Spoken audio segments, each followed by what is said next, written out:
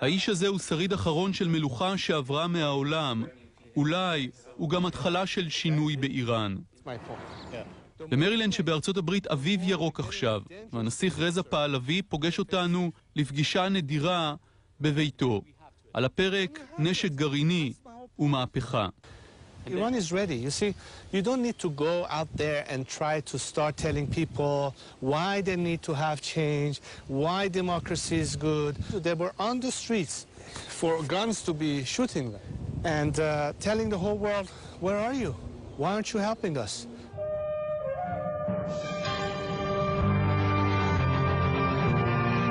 רזה פעלבי הוא יורש העצר של משפחת פעלבי האיראנית, מי שאמור היה להיות היום השהן שאה, הקיסר האיראני. Light of the Aryans, center of the universe.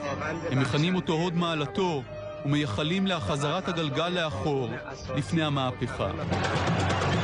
As he came down the steps, Khomeini brought 2,500 years of monarchy in Iran to an end. לראיון עם הנסיך פעלבי יש תכלית ברורה. בשבוע בו ייפגשו נציגי המעצמות עם איראן וידונו אולי בפעם האחרונה על בלימת התוכנית הגרעינית של טהרן, הוא מספק אזהרה חמורה נגד כל משא ומתן עם המשטר האסלאמי, אבל גם נגד כל תקיפה. Every principle that the free world is based on, on human rights, on equality, of justice, and what have you, is like cyanide to a regime that has such a obscure um, apartheid vision of things. It is totalitarian as the Soviets were, it is fascist as Hitler was, it is racist as apartheid was, it is all of these worst kind of regimes on the planet combined in one. and yet the world wants to negotiate with its representatives. פעלבי מפציר בנו לא לראות בעם האיראני כולו תוקפן, אלא קורבן. קורבן של כת דתית שהשתלטה על השלטון. I was just watching this clip on YouTube uh, recently made by some Israeli citizens We will never bomb your country. We love you.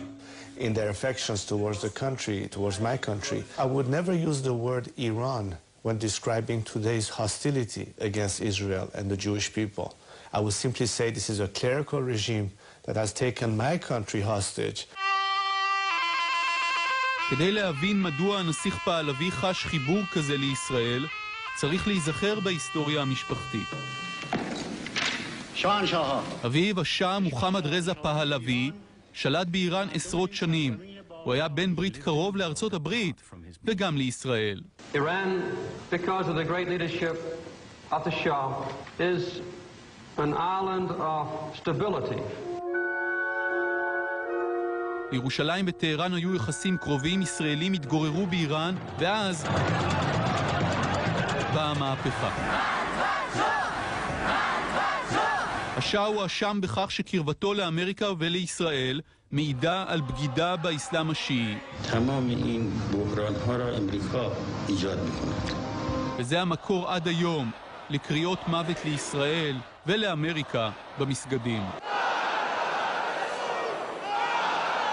So father did pay a price for the Israeli relations in specific. What they argued against him is that he is betraying, you know, Islamic tradition, Shia tradition. This is how, you know, slogans like death to Israel, death to America entered the, the, street, the Iranian street. You know, death to Israel or death to America every Friday uh, prayer does not put bread on people's table, does it? No. And that's what people contrast. Were- Are we better off 30 years later than we were back then? המלוכנים ומשפחת השאה מחזיקים עדיין מקורות מודיעיניים בתוך איראן, ורזה פעלבי מזהיר שתקיפה ישראלית או אמריקנית תהיה אסון. We're not talking about Osirak here. We're talking about something that will eh, entail such a campaign that clearly means neutralizing Iran's retaliation capabilities, which means a full-fledged war.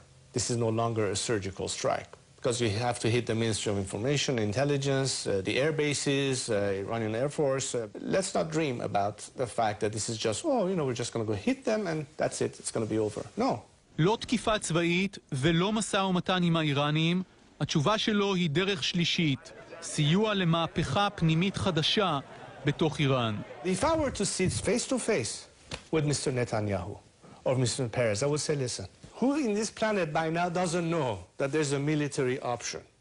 But are there other options? The best option is to utilize the best army in the world in place, ready to strike, which is the Iranian people themselves. And if you don't help that, God help us all. Israel can hurt Iranian opposition. Yes? How? How? By uh, putting all sorts of technological, financial, and other resources at our disposal. But wouldn't it only hurt you? I'll take my chance by telling people I brought you the help of Israel to get rid of this regime by peaceful means, as opposed to Israel bombing you, which is exactly what the regime wants. Now it's your choice. Which one is worse? האיראנים כנראה אינם מייחלים לחזרתה של משפחת פעלבי, אבל באופוזיציה האיראנית יש אחדות. אם תהיה תקיפה, זה רק יוכל להזיק, ולכן המסר לישראל. My message to the Israeli people is very simple at the end. We, the children of Cyrus, the children of Queen Esther, the Persian queen, need your help. And today, your response is bombing us or helping us. It's your choice. But history will witness this moment. The best thing you can do for the regime is to tell that we're going to come and attack you, or in fact attack you. You'll be giving Khamenei and all his clique, when they have no answer anymore to the country's ills, the greatest gift of all by doing that. Yeah. That's just crazy. That just doesn't make sense.